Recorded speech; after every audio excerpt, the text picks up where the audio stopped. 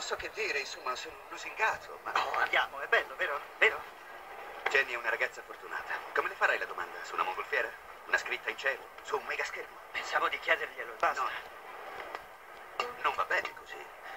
Devi fare una dichiarazione, una cosa in grande. Una gita in elicottero. Molte ragazze preferiscono qualcosa di più. Quindi lui deve essere noioso e dire... Vuoi sposarmi?